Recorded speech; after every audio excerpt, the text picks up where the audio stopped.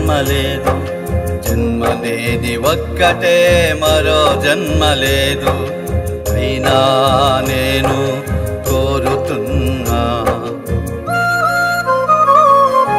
దేవా ఏసయ్యా నాకు మరో జన్మనీయవా?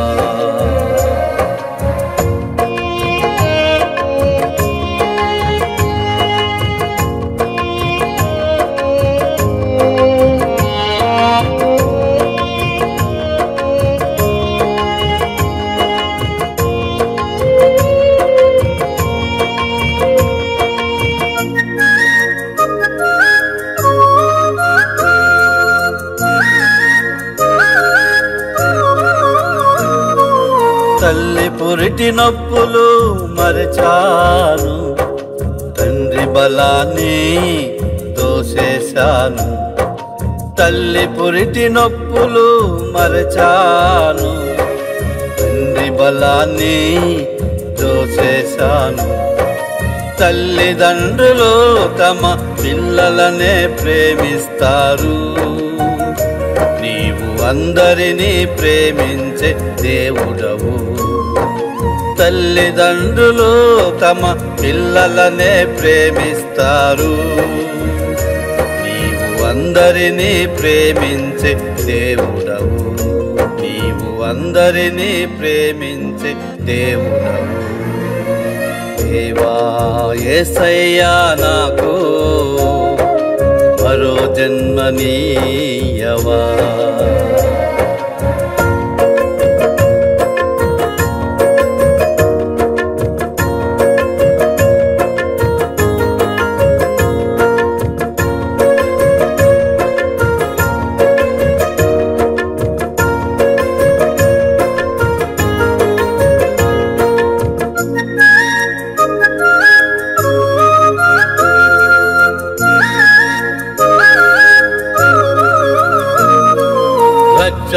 నడిపించి దేవునితో నడిపించావు.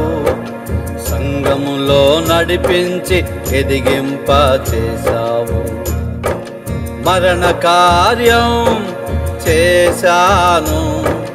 జ్ఞాపకార్థ కార్యం చేయనన్నా మరణ కార్యం చేశాను. జ్ఞాపకార్థ కార్యము చేయనన్నా భార్యా శిరస్సు భర్త అన్నది మన గ్రంథం. భర్త శిరసుపైనే భార్య కూర్చుంది. విశ్వాసి అని నేను మొరిగాను అవిశ్వాసిగా మారాను. ప్రతి సంగముని రక్తం చేత కట్టబడిన సంగమని మరిచాను. ప్రతి సంగముని రక్తం చేత. దేవునామ స్తోత్రాలు. మన వాక్య ధ్యాన నిమిత్తము అపోస్తల కార్యం తొమ్మిదో అధ్యాయము పదిహేనవ వచనము ఇలా రాయబడి ఉన్నది. అన్యజనుల ఎదుటను రాజుల ఎదుటను ఇస్రాయల్ ఎదుటను నా నామం భరించుటకు ఇతడు నేను ఏర్పరచుకుని సాధనమై ఉన్నాడు. చిన్న ప్రార్థన చేసుకుందాం. పరిశుద్ధ ప్రేమ గల తండ్రి నిత్రులకు సమాధానం గల స్తోత్రాలు. మరి వాక్యం ఆత్మీయ సత్యాలు బయలుపరచు వింటున్న చూస్తున్న బిడ్డను దీవించి ఆశ్రయించు బలపరచు నాయన. మేము ఈ సాధనమై ఉన్నాం తండ్రి. ప్రతి వ్యక్తి కూడా తండ్రి మమ్మల్ని ఎన్నుకున్నావు దేవా. మరి నీ పనిముట్లుగా వాడుకునేందుకు సహాయం చేయి. మరి బైబిల్లో ఉన్న వాక్యాలను ఆత్మీయ సత్యాలు నాయన. వినగలిగే చెవులు మా హృదయంలో భద్రపరచుకోవాలి ఆ వాక్యాన్ని ఆ విధమైన మనసును దయచేతండి మరి ఈ యొక్క మాటలు శ్రద్ధగా విని మా జీవితాలకు ఉపయోగించుకుని అనేక మందికి మేము తెలియపరిచే వాళ్ళగా తయారు చేయి. నీవే మాకు తోడు నీ రక్షణమని చూస్తున్న ప్రతి బిడ్డను ఆశ్రయించి బలపరచమని త్వరలో తిరిగిన యేసుక్రీస్తునామను ప్రార్థించి అడిగి వేడుకుంటున్నాను తండ్రి. ఆమె ప్రియమైన సంగమా ఇక్కడ మనం చదువుకున్న వాక్యంలో అన్నుల ఎదుటను రాజుల ఎదుటను ఇస్రాయిల్ ఎదుటను నా నామాన్ని భరించడానికి అంటే ఎన్ని శ్రమలు వచ్చినా కూడా ఆయన సేవ చేయడానికి నేను ఎన్నుకున్నాను ఈ వ్యక్తిని అని దేవుడు చెప్తున్నాడు.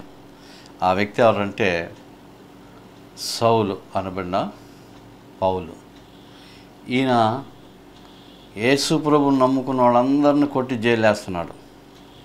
ఆ తర్వాత ఇంకొక ముందుకు వెళ్ళాడు స్టెప్. వీళ్ళని చంపేయాలి అని ఒక కాగితాన్ని కూడా రాసుకొని మరి అధికారుల దగ్గర బయలుదేరాడు. ధనుష్కలో ఉన్న వాళ్ళని పట్టుకోవడానికి.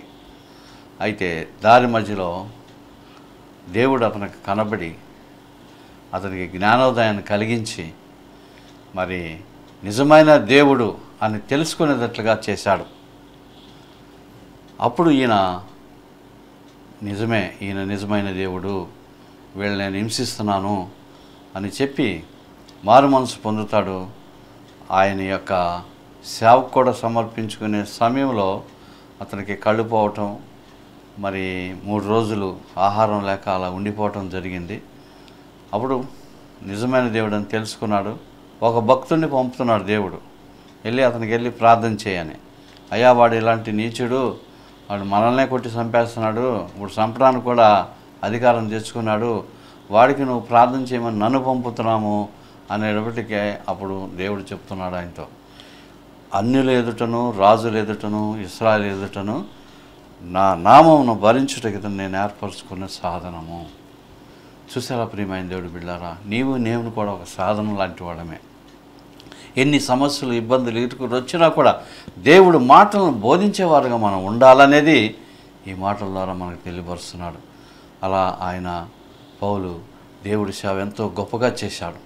అద్భుతంగా చేశాడు. ఎన్ని శ్రమలు ఇబ్బందులు వచ్చినా సరే అందరి ముందు నిలబడి దేవుడు వాక్యాన్ని మరి అనేక మందికి తెలియబడే కృపణ దేవుడు ఆయనకి ఇచ్చాడు.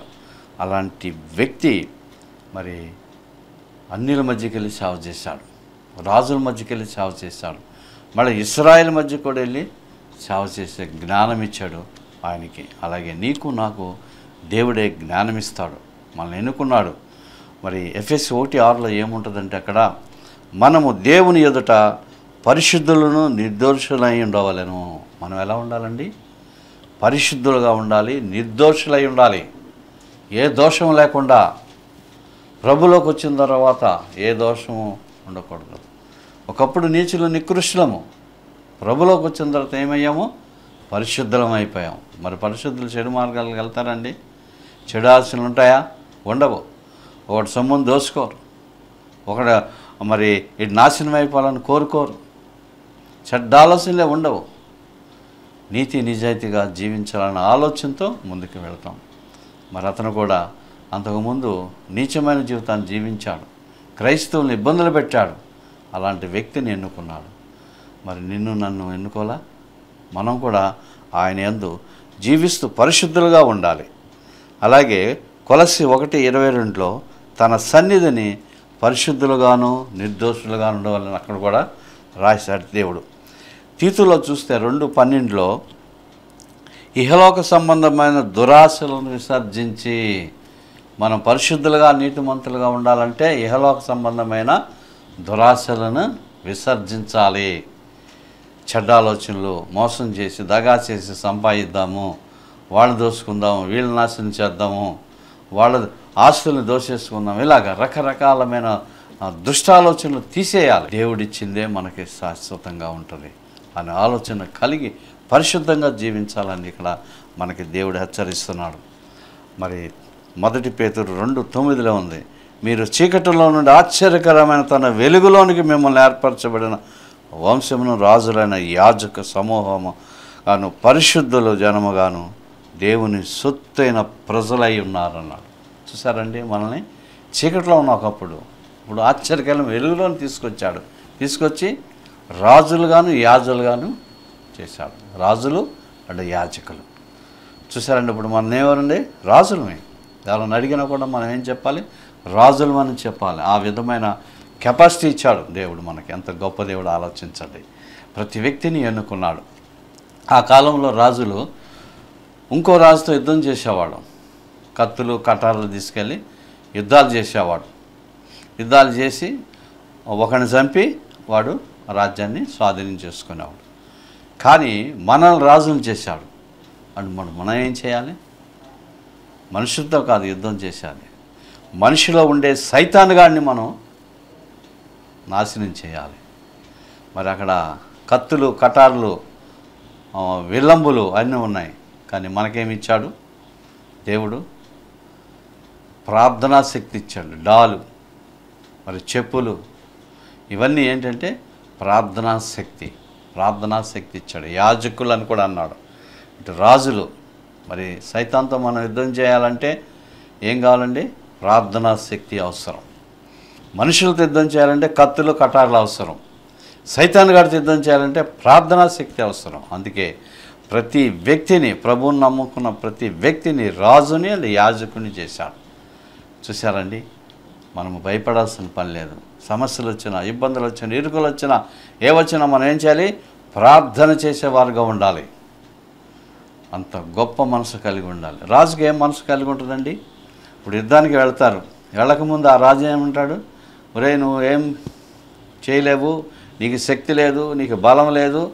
నేను వస్తున్నాను యుద్ధానికి నేను నాశనం చేసేస్తానని ఇష్టానుసారమైన మాటలు మాట్లాడి యుద్ధానికి వస్తాడు. ఆ యుద్ధం జరుగుతుండగా షడన్గా నేను ఓడిపోయాను చేతులు ఎత్తేస్తాను అప్పుడు చేతులు ఎత్తినప్పుడు ఈ రాజు ఏం చేయాలి?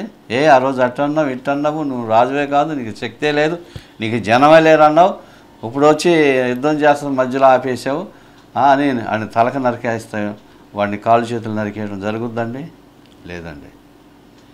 ఎప్పుడైతే నేను యుద్ధం చేయాలని చేతులు ఎత్తేసాడో శత్రురాజు వెంటనే ఈ రాజు క్షమించి సామంతరాజును చేసుకుంటాడు. ఓర్పు సహనం కలిగి జీవించాలి మనం. వాడు అలా అన్నాడు వీడు ఇలా అన్నాడు వాడు అలాంటోడు ఇలాంటోడు అని ప్రచారం చేశారని చెప్పి మనం వెళ్ళి వాడి మీద యుద్ధం చేయకూడదు. మనం ప్రార్థన చేయాలి. మన గురించి ఎవరైతే చెడుగా చెప్తున్నారో వాడి గురించి దేవుడి సన్నిధిలో కన్నీరు కార్చి ప్రార్థన చేయాలి. అయా అతనికి మంచి మనసుని మంచి ఆలోచన అని చెప్పి. అంతేగాని వెళ్ళిపోయి గోడలు పెట్టుకోవటం అట్లా చేయకూడదు ప్రియ సహోదరుల ఎందుకంటే వాడు కూడా మంచోడే ఆ వ్యక్తి కూడా మంచోడే మనలాంటి మనిషే. కానీ చెడ్డోడు ఎందుకాడంటే వాళ్ళు సైతాన్ని కూడా దూరాడు కాబట్టి. మరి పౌలకి ఫస్ట్ సైతాన్ని కూడా దూరాడు కదా. తర్వాత ఏమైంది? పోగొట్టుకున్నాడు ప్రభు దగ్గరకు వచ్చి. అలాగే మనం కూడా సైతాన్ని పోగొట్టుకోవాలంటే మనం దేవుడి సన్నిధిలో ప్రార్థన చేసేవారుగా ఉండాలి. ఎందుకంటే మనల్ని ఒక సాధనంగా ఎన్నుకున్నాడు మనల్ని. ఉరికిన ఆశామేషగా మనం ప్రభు దగ్గరికి రాలా. ఎవరో పిలిస్తే రాలా. ఎవరో మరి చెప్తే రాలా. దేవుడి అందు విశ్వాసంతో కలిగి మనం వచ్చాం. మాలాంటి వాళ్ళందరూ వాక్యం చెప్తాం అంతే. ఎవరి వాక్యం చెప్పాం? దేవుడి వాక్యం చెప్పాం. మా నాన్న గురించి మా అమ్మ గురించి మా బంధువుల గురించి చెప్పామా? చెప్పలేవే. దేవుడు వాక్యం చేత పట్టబడ్డారు అంటే ఏసై చేత పట్టబడ్డారు. అంటే మనమందరం కూడా ఏసై చేతనే మనం పట్టబడ్డాం ఆయన దగ్గరికి రావడానికి గల కారణం. కనుక ప్రియ సహోదరుడు మనల్ని సాధనంగా ఎన్నుకున్నాడు. కనుక ధైర్యంగా మనము ముందుకు వెళ్ళే వారంగా ఉండాలి. అందుకే ఇరిమియా గ్రంథంలో మూడు పదిహేనులు ఏమంటాడంటే నాకిష్టమైన కాపరులను మీకు నియమింతును. వారు జ్ఞానముతోనూ వివేకముతోనూ మిమ్మల్ని ఏలుదురు. కాపర్లు అంటే ఎవరండి? జ్ఞానం కలిగిన వాళ్ళు. ఏమండి? జ్ఞానము కలిగిన వాళ్ళు. మరి అలాగే వివేకంతో జీవించేవాళ్ళు. మీకు నేర్పుతారనమాట జ్ఞానము వివేకము కలిగి మరి జీవించే వ్యక్తుల్ని కాపర్లుగా పెడితే విశ్వాసులు కూడా ఎలా ఉంటారండి? అలాగే ఉంటారు ప్రియమాని దేవుడు మిళ్ళారా అలాంటి గొప్ప దేవుడు మన దేవుడు. ఆది కాండం ఇరవై ఎనిమిది ఇరవై రెండులో యాకోబు నీవు నాకిచ్చు యావత్తులో పదివ వంతు నిశ్చయముగా నీకు చెల్లించదునని మొక్కుకున్నాడు ఎందుకంటే దేవుడితో మొక్కుకున్నాడు. పాత నిబంధనలు భక్తులందరూ దశం భాగాలు ఇస్తూనే వచ్చారు. అలాగే ఈయన కూడా మొక్కుకున్నాడు. అలాగే లేవికాండము ఇరవై ఏడు ముప్పైలో చూస్తే భూధ్యానములోను వృక్షఫలములోను భూఫలములోను గోవుల్లోనేమి మేకల్లోనేమి కానీ కోల క్రింద నడుచుతున్నవన్నింటిలో నేను దర్శనం భాగం ఇస్తాను. చూసారా ప్రియమైన దేవుడు బిళ్ళారు అలాగే సంఖ్యాకాండము పద్దెనిమిది ఇరవై ఒకటిలో కూడా రాయబడి ఉంది. అక్కడ లేవీలు చేయు సేవకు అనగా ప్రత్యక్షపు గుడారం యొక్క సేవకు దశంభాగం ఇచ్చి యుంటిని. అలాగే ద్వితీయోపదేశకం పద్నాలుగు ఇరవై తొమ్మిదిలో ఉంది. నీ మధ్యన స్వాస్థ్యమైనను లేని లేవి వారును. బాగా గమనించండి ప్రియమైన సహోదరులారా మీరు శ్రద్ధగా చూస్తున్నారు వినండి. నీ ఇంటనున్న పరదేశులను తండ్రి లేని వారును విధవరాండ్లను వచ్చి భోజనం చేసి తృప్తి పొందుదురు. ఇక్కడ లేవీలకి స్వాస్థ్యం లేదు ఇవాళ. నువ్విచ్చే దశభాగం లేవీలు అందరికీను తర్వాత పరదేశులకిను తల్లిదండ్రుల వారికును విధవరాండ్లకును వాళ్ళకు కూడా భోజనం పెట్టాలి సహాయం చేయాలి. చూసారా ప్రియమైన దేవుడు బిడ్డారా మన దేవుడు ఎంత గొప్పవాడో. మరి ఆయన ఏర్పరచుకున్న సాధనాలు పాస్టర్లు ఎవరు? ఆయన ఏర్పరచుకున్న సాధనం వారు ఎలా ఉండాలి? జ్ఞానముతోను వివేచనతోను నేను నింపి పంపుతున్నాను అన్నాడు. జ్ఞానం కలిగినాడు కాబట్టి ఆ కాలంలో మరి వాళ్ళు ఇచ్చిన దశంభాగాన్ని ఆ లేవీలు వాడుకున్నారు. తర్వాత పేదవాళ్ళకి ఎదవరాళ్ళకి పరదేశులు కూడా వాడు భోజనాలు ఏర్పాటు చేశారంటే ఎంత ప్రేమ కలిగినాడో చూడండి. ఒకరినొకరు ప్రేమించుకోవాలి. మరి ఎందుకు మనల్ని సాధనంగా తయారు చేశాడంటే ప్రేమను ప్రకటించేవారుగా ఉండాలని ఇక్కడ దేవుడు సెలవిస్తున్నాడు ప్రియ సహోదరి సహోదరుల అలాగే యహోశువల పద్నాలుగు ఐదులో మరి యహోవా మోషకు ఆజ్ఞాపించినట్లు ఇస్రాయేల్ దేశమును పంచుకొనిరి. ఇప్పుడు పన్నెండు గోత్రాల్లో ఆస్తంతా పది గోత్రాలు పంచుకున్నారు. ఎవరి కాళ్ళకే? మరి పంచుకున్నంటే ఆస్తులు ఇచ్చాడు దేవుడు. మొత్తం ఆ యొక్క దేశాన్నంతా పంచి ఆస్తులుగా ఇచ్చేశాడు. ప్రియమైన దేవుడు బిడ్డారా మన దేవుడు ఎంత గొప్పవాడు ఆలోచించండి. అలాగే మత్తేసు వార్త ఐదు పదిహేడులో ఏముంటుందంటే ధర్మశాస్త్రమును నెరవేర్చుటకే కానీ కొట్టివేయటకు నేను రాలేదు. చూసారండి? ధర్మశాస్త్రాన్ని నెరవేర్చడం కొట్టేలా? కొట్టేసేసరిగా మనకు పాత నిబంధన ఉండదుగా నెరవేర్చాడు కొన్ని. అందులో ఆ కాలంలో ఏమేమి చేశాడు? దృష్టాంతంగా మనకి చూపించడానికే పాత నిబంధన. మరి కొన్ని ఇలా చేశాడు అలా చేశారు అలా మరి కొందరు చెడుగా మార్గంలో వెళ్తే పడిపోయారు. అలా మనం పడిపోకూడదు. అలాగే మంచి మార్గంలో నడిచాడు బాగున్నాడు. అలాగే మనం కూడా మంచి మార్గం నడవాలి. మరి చెడు జీవితం అనేది లేకుండా జీవించిన వాళ్ళు ఉన్నారు పాత నిబంధనలో. వాళ్ళని చూసి మనం ఏంటి? చెడు జీవితానికి వెళ్ళకూడదు. ఒకవేళ పరిస్థితుల్లో పడిపోయాడు అనుకో దావీదు వలె మళ్ళా లెగిసి ప్రభు దగ్గర క్షమాపణ అడిగి మంచి మార్గంలో నడిచేవారుగా ఉండాలి. సాంసన్ పడిపోయాడు. ఏమయ్యాడు లాస్ట్కి? ఆ విధంగా కాకుండా అవన్నీ మన జీవితాన్ని మార్చడానికి మనకు ఉపయోగపడేటట్టుగా ఉండాలి. మరి యేసు ప్రభు వచ్చేది నెరవేర్చాడు. కొత్త నిబంధన మనకి ఏర్పాటు చేశాడు. సంఘ కట్టుబాట్లు సంఘ సావాసం అవసరం ఇప్పుడు మనకి. ఇప్పుడు ఇస్రాయల్ సావాసము ఇస్రాయల్ యొక్క చరిత్ర తెలుసుకోవటానికే జీవించడానికి కాదు. ఇలా జీవించారు. ఇలా మంచిగా ఉన్నవాళ్ళు మంచిగా జీవించారు చెడుగా ఉన్నవాళ్ళు చెడిపోయారు. కానీ ఇప్పుడు మనం చెడిపోవటానికి రాలేదు. నీతి నిజాయితీగా జీవించడానికి వచ్చాం. ఆయన మార్గంలో జీవించాలంటే మంచి హృదయం కలిగి ఉండాలి. మోసందగా లేకుండా జీవించమని మరి సంఘం యొక్క కట్టుబాట్లు సంఘంలో ఎలా ఉండాలి సంఘాన్ని ఎలా అభివృద్ధిపరచాలి సంఘంలో ఎలా జీవించాలి అనేది మనకి పత్రికల ద్వారా దేవుడు తెలియపరిచాడు ప్రియమని దేవుడు బిళ్ళారా కనుక ఇక్కడ గమనిస్తే మరి కొరింది పత్రికలు తొమ్మిది ఏళ్ళేముందంటే సనుగుకు కొనుకు బలవంతంగా కాక కానుకను ప్రతివాడును తన హృదయంలో నిశ్చయించుకొనిన ప్రకారమే ఇవ్వలను. ఇప్పుడు దేవుడు మందిరానికి వెళ్తాం ఆదివారం. సనుకోవటం గొనుక్కోవటం కాదు. నీ హృదయంలో ఇంటి దగ్గర ఎంత ఇవ్వాలనుకున్నావో అంత ఇమ్మంటున్నాడు దేవుడు. ఎంత గొప్పవాడు ఆలోచించండి. ప్రేమమయుడండి. నీ హృదయాలు ఎంత అనుకుంటే అంతే ఇవ్వు. నాకు అంత కావాలి ఇంత కావాలని దేవుడు అడిగే దేవుడు కాదు. మనకి ఎంత కావాలో ఇచ్చే దేవుడు. అంత గొప్ప దేవుడు మన దేవుడు. కనుక ప్రియ సహోదరుడా ఒక్కసారి ఆలోచించు. మరి ఈ వాక్యాలన్నీ కూడా మనం శ్రద్ధగా విని ముందుకు వెళ్ళేవారుగా ఉండాలి.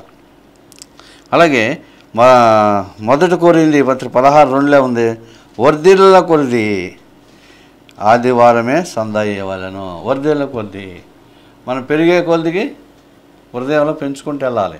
మనకి ఆస్తి పెరుగుతుంది. అలాగే దేవుడికి కూడా కానుక పెంచుకుంటూ వెళ్ళాలి. అర్థమైందండి అంటే మనకు పెరుగుతుందంటే మన జీవన విధానములో ఇబ్బందులు లేకుండా ముందుకు వెళ్తున్నామని అర్థం. ఇబ్బందులు ఉంటూ దేవుడికి ఇమ్మని ఏం అడగలేదు ఆయన. నువ్వు పస్తుండే నాకు ఇమ్మన్నాడు ఆ దేవుడు. నువ్వు సంతోషంగా సమాధానంగా ఉన్నప్పుడు నీ సంతోషంలో నాకు ఎంత ఇస్తావో అంత ఇవ్వమని సెలవిచ్చాడు ఎంత గొప్ప దేవుడు ఆలోచించండి. కనుక చూసారా ప్రియమైన దేవుడు? ఇలాంటి దేవుడు మనకి ఎక్కడ కనిపించడు. అందుకే ఈయన నిజమైన దేవుడు. ఈయన ఒక్కడే దేవుడు. ఈయనే ఈ లోకాన్ని సృజించిన దేవుడు. ఈయన చనిపోయేంత వరకు ఆ కాలంలో ఎవరు కూడా దేవుడు అనుకోలేదు. భక్తుడే ఒక ప్రవక్త అనుకున్నారు. కానీ చనిపోయి లేచిన తర్వాత ప్రపంచంలో ఇప్పటి వరకు ఎవరు కూడా చనిపోయి లెగల. దేవుడు ఒక్కడే కాబట్టి లెగ్గలిగాడు. అది మన యొక్క పాపాలను తీసివేయడానికి శరీరధరగా ఈ లోకానికి రావటం జరిగింది ప్రియ సహోదరి సహోదరుల. కనుక తన సంఘాలకి వెళ్ళేటప్పుడు మన వృద్ధంలో ఎంత ఇవ్వాలో అనుకుని అంతే మనము ఇచ్చేవారంగా ఉండాలి ప్రియమైన దేవుడు బిళ్ళారా అలాగే మత్తయ్య ఇరవై నాలుగు పదమూడులో చూస్తే అక్కడ మనకు తేడ తెలంగా అర్థమయ్యేది ఏంటంటే పాత నిబంధనలు ఇస్రాయల్కి దేవుడు ఆస్తులు ఇచ్చాడండి. ఆస్తులు ఇచ్చారు కాబట్టి వాళ్ళు దశం భాగాలు ఇవ్వగలిగారు. కానీ కొత్త నిబంధనకు వస్తే క్రైస్తవులకు రక్షణ ఇచ్చాడు దేవుడు. రక్షణ ఇచ్చాడు మనకి. మనకేం ఆస్తులు ఇవ్వలా గమనించండి ఒక్కసారి. క్రైస్తవులే ఒక్కసారి ఆలోచించండి. నువ్వు రక్షణ పొందినప్పుడు ఏ స్థితిలో ఉన్నావు?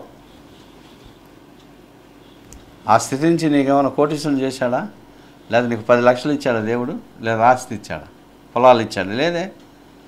నువ్వు ఎప్పుడైతే ఈయన నిజమైన దేవుడు ఈయన సాతో సావాసం చేస్తే నేను పరలోకానికి వెళ్తాను. ఈయన మాటలు వింటుంటే చెడు జీవితం ఇక్కడ నాకు ఉండదు. మంచిగా నీతి నిజతగా జీవిస్తాను. ఈయనే నా రక్షకుడని తీర్మానం చేసుకున్నావు. అందుకే నీకు రక్షణ ఇచ్చాడు బాప్టిస్ట్ని తీసుకున్నావు. నువ్వు రక్షణ పొందినందుకు నీకు గిఫ్ట్ ఏంటి? బాప్టిస్ట్ వాళ్ళకే గిఫ్ట్ ఏంటి? ఆస్తులు ఇచ్చాడు. ఆస్తులు ఇచ్చాడు కాబట్టి వాళ్ళు దశం భాగం ఇవ్వగలిగారు. మరి ఈ కాలంలో ఖర్చులు చూశారు కదా? ఎంత విస్తారమైన ఖర్చులు అయిపోతున్నాయి. ప్రతిదానికి డబ్బుతోనే ముడిపెట్టేస్తుంది మరి ఇలాంటి జీవితం జీవిస్తున్నప్పుడు మనకు వచ్చే ఆదాయంలో దశం భాగం ఇవ్వగలుగుతాం ఒకసారి ఆలోచించండి. మరి కొత్త నిబంధనలో రాయబడలా. వాళ్ళకే రాయబడింది అది. కనుక వాక్యానుసారంగా మనం జీవించాలి. వాక్యంలో ఉన్న సత్యాలు మనం తెలియపరచాలి. బైబిల్ని ధ్యానం చేయాలి ప్రియ సహోదరి సహోదర. కనుక అక్కడ వాళ్ళకి రక్షణ దొరికింది. కనుక వాళ్ళ హృదయంలో ఎంత ఇవ్వాలనుకున్నారో అంతే ఇమ్మన్నాడు. అంత ప్రేమమైన మన దేవుడు ప్రేమైన దేవుడు బిడ్డారా అలా చూస్తే మరి మొత్తం వరకు సహించిన వాడెవడో వాడే రక్షించబడతాడు. మరి నీకు రక్షణ వచ్చింది ఎందుకని? ఆస్తులు ఏమి ఇవ్వలేదు దేవుడు? ఆ రక్షణ ఏంటంటే అంతం వరకు కాపాడుకోవాలి. దాని అర్థం అది. అంతం వరకు నువ్వు కాపాడుకుంటూ జీవించేవాడే నిజమైన రక్షింపబడిన వాడు అవుతాడు ప్రియమైన దేవుడు బిళ్ళారా అదే మత్స్యవార్త ఇరవై రెండు పద్నాలుగులో ఏముంది? పిలవబడిన వారు అనేకులు ఏర్పరచుకున్నారు కొందరే అని రాయబడింది. కనుక పిలవబడేవాళ్ళు అనేక మంది ఉన్నారండి. కానీ ప్రభువులో స్థిరపడి నిలబడేవాళ్ళు కొందరే. ఒకసారి గమనించండి. కొందరే నిలబడ ఏర్పరచుకోవాలి. కానీ మనము ఆయన బిడ్డలుగా మనం ముందుకు వెళ్ళేవారంగా ఉండాలి. అదేర్పడకూడదు అనేక మంది పిలువబడతారు కానీ అందరూ నిలబడలేరు. నిలబడే వ్యక్తే నిజమైన బోధ చేయగలుగుతాడు. ధైర్యంగా ముందుకు వెళ్ళగలుగుతాడు. మూడు అధ్యాయము పన్నెండు పదమూడులో దేవుడు అక్కడ తేటతెల్లగా రాశాడు. దేవుని చేత ఏర్పాటుపడిన వారును పరిశుద్ధులను పిరులైన వారికి తగినట్లు మీరు జాలిగల మనసును దయాళత్వమును వినయమును సాత్వికమును దీర్ఘశాంతమును ధరించుకొనుడి. ఒకరినొకడు సహించుచు ఒకరినొకడు క్షమించుడి. చూసారండి ఈ మంచి గుణాలు ఉంటాయి పిలిచేవాళ్ళు అనేక మంది పిలువబడేవారు బోల్ మంది ఉంటారు. కానీ ఏర్పరచుకుబడిన వాళ్ళే కొందరు. వాళ్ళకే ఈ మంచి హృదయం కలిగి జీవించగలుగుతారు ప్రియ సహోదరి సహోదరుడా. అలాగే ఎఫ్ఎస్సి నాలుగు ఇరవై ఐదులో మీరు అబద్ధమాడుట మాని ప్రతి వాడును తన పొరుగు వానితో సత్యమే పలకబడను. అబద్ధాలు మానేయాలండి. యస్సు ప్రభు నమ్ముకున్న ప్రతి బిడ్డ కూడా అబద్ధాలు మానేసేవారుగా ఉండాలి. వాళ్ళు సత్యమే మాట్లాడతారు. వారు నీతి నిజాయితీగా ఉంటారని అన్యులు మన గురించి చెప్పుకున్నారు. ఆ విధంగా జీవించాలి. మనలో అబద్ధాలు ఉండకూడదు. అందుకే మన జీవితాలు చాలామంది పాడైపోతున్నాయి. కనుక నీతి నిజాయితీగా మనం జీవించేవారుగా ఉండాలి. ఎఫ్ఎస్సి నాలుగు ముప్పై రెండులో క్రీస్తునందు దేవుడు మిమ్మల్ని క్షమించిన ప్రకారం మీరును ఒకరినొకరు క్షమించుకోవాలి. ఎవరైనా గొడవలు అవి జరుగుతాయి తప్పులు చేస్తుంటారు దాని గురించి ఓకే కథలు కథలుగా చెప్పకూడదు. క్షమించేయాలంతే. మనల్ని క్షమించలా దేవుడు? ఒకప్పుడు యేసుపురం దేవుడు అన్నామా? లేదే? ఇంగ్లీష్లో దేవుడు క్రిస్తానీ దేవుడు మాకు బోడు మంది దేవుళ్ళు ఉన్నారు మనం సంకలు కొట్టుకున్న వాళ్ళమే. యేసు ప్రభుని తెలుసుకున్న తర్వాత తెలిసింది ఈయనే నిజమైన దేవుడని. వెళ్ళాము. ఏమయ్యా ఆ రోజు అట్టాను ఇట్టాను అన్నాడు యేసు మనల్ని. అనలేదే? అక్కును చేర్చుకున్నాడు. ఎప్పుడైతే నా దగ్గరికి వచ్చారో నా బిడ్డను అక్కును చేర్చుకున్నాడు. నీ పాపాన్ని మళ్ళీ జ్ఞాపం చేసుకొని అన్నాడు ఎబ్రి పత్రికలో. అంత గొప్ప దేవుడు అండి మరి అంత దేవుడు నమ్ముకున్నప్పుడు మనం మన సహోదరులు ఏమైనా తప్పు చేసి క్షమించాలా లేదా? అంతేగాని ఏలెత్తి చూపించుకో. ప్రియ సహోదర నువ్వు గొప్ప దేవుడివి మహోన్నతుడివి. అలాంటి దేవుడి దగ్గరికి వచ్చినప్పుడు మనం కూడా నీతి నిజాయితీగా జీవించాలి వాక్య ప్రకారంగా జీవించాలి. ఆ విధమైన జీవితంలో మనం ఉండాలి. ఏహెస్కెల్ గ్రంథంలో మరి ఒక మాట ఉంటుంది ప్రియమైన దేవుడు బిడ్డారా ఏహెస్కెల్ గ్రంథంలో నలభై ఏడు మూడో వచ్చిన చదివితే అక్కడ అక్కడి నుంచి మూడు నుంచి చదివితే ఒక వ్యక్తి ఒక మనిషిని తీసుకుని నదిలోనికి తీసుకువెళ్తున్నాడు. వెయ్యి మూరలు నడిపించాడు. నడిపించగానే ఆయనకి చీలమండలాలు తడిసినాయి. అలాగే మళ్ళా ఆ వ్యక్తి ఏం చేసాడు ఈ మనిషిని తీసుకుని మళ్ళా ఒక వెయ్యి మూరలు లోపలికి తీసుకెళ్తే మోకాళ్ళ లోతు తడిసింది. అలా మళ్ళా తీసుకెళ్తే వెయ్యి మూరల లోతుకి మొల లోతు వచ్చింది. అలాగే మళ్ళీ వెయ్యి మూరల లోపల తీసుకెళ్తే మరి దాటలేనంత నది కనబడింది. అప్పుడు ఏమైంది? ఈదవలసినంత వచ్చింది. అంటే ఈదటం అంటే వాళ్ళంతా తడిచిపోయింది. ఇది అక్కడ జరిగింది. మళ్ళీ వెనక్కి తీసుకొచ్చేసాడు. ఇందులో ఆత్మీయ సత్యం ఏంటంటే వాక్యంలో ఉన్న ఆత్మీయ సత్యాలు మనం తెలుసుకోవాలి ఫస్ట్. కొందరు చీలమండల వరకు తెలుసుకుని ఆగిపోతారు సాల్లే. కొందరు మోకాళ్ళ వరకు వస్తారు సాల్లే ఆగిపోతారు. కొందరు నడుము వరకు వస్తారు. సాలైన ఆగిపోతారు కాదండి. ఫుల్గా ములిగేంత వరకు ఆ నీళ్ళల్లో ములిగేంత వరకు తీసుకెళ్ళి ముంచాడు తీసుకొచ్చాడు. అలాగే మన వాక్యంలో ములగాలి. ఆత్మీయ సత్యాలు తెలుసుకోవాలి. పైపైన బోధ కాదు ప్రియ సహోదరి సహోదరుడ. లోతైన మర్మాలు తెలుసుకుని మనం బోధించేవారుగా ఉండాలి. ప్రతి వ్యక్తికి బోధించేవారుగా ఉండాలి. బో బోధకులే కాదు మరి విశ్వాసులు కూడా బోధించేవారుగా ఉండాలి. ఆ విధంగా తయారవ్వాలంటే మనం ఏం చేయాలి? ప్రభు సన్నిధిలో వినయ విధేతలు కలిగి ఉండాలి. అబద్ధాలు ఆడకూడదు మోసం చేయకూడదు దగా చేయకూడదు చెడ్డ ఆలోచనలు ఉండకూడదు స్వార్థంతో ఇక్కడికి రాకూడదు. మంచి హృదయంతో రావాలి పది మందికి సహాయం చేయాలనే కృపతో ఆలోచనతో రావాలి ప్రియ సహోదరుడా. అలాంటి గొప్ప దేవుడి దగ్గరికి వచ్చాం. నిజమైన దేవుడు మన కోసం రక్తాన్ని చింది చనిపోయి మూడోది మృత్యుంజలైన ఆ దేవుడిని ఆరాధిస్తున్నాం కాబట్టి ఆ దేవుడికి మనం పూర్వ సత్యంత వరకు కృతజ్ఞతగా ఉండాలి. చిన్న ప్రార్థన చేసుకుందాం. పరిశుద్ధుల ప్రేమగల తండ్రి నిత్యులకు సమాధానంగా దేవస్తోత్రాలు రాజు రాజు ప్రభులు ప్రభుదేవ మరి నేను మమ్మల్ని అందరం కూడా ఎన్నుకున్నావు తండ్రి. మంచి బోధన ఇస్తామని మరి నీ జ్ఞానంతోనూ నీ వివేకంతోనూ నింపి మమ్మల్ని పంపించావు. మేము కూడా అలాగే వాక్యములను సత్యాలు బయలుపరిచేటట్లుగా మమ్మల్ని తయారు చేయి. వింటున్న బిడ్డలను కూడా దీవించు. వారు కూడా జ్ఞానం వివేచన కలిగి జీవించేటట్టు సహాయం చేయి ఏ విషయంలో అధైర్యపడిన ధైర్యం శక్తిని తండ్రి నేను చూస్తున్న ప్రతి బిడ్డను ఆశీర్వదించు. వారి కుటుంబాలను ఆశీర్వదించు. ఏ విధమైన సైతాన్ని సోదరులు ఉంటే ఏసు క్రీస్తున్నప్పుడు దూరపరుస్తున్నాం తండ్రి. ఇరుకుల తీసేయి. రుణాలను తొలగించు నాయన. నీ ఆకాశం వెళ్ళి దేవుని కొమ్మరించు. ప్రతి కుటుంబాన్ని ఆశీర్వదించు. ఈ లోకంలో ఉన్న ప్రతి అన్యుణ్ణి క్రైస్తుని కూడా దీవించి ఆశ్రయించమని యేసుక్రీస్తునామను ప్రార్థించి అడిగి పెట్టుకుంటున్నాను తండ్రి. అమేన్ అమేన్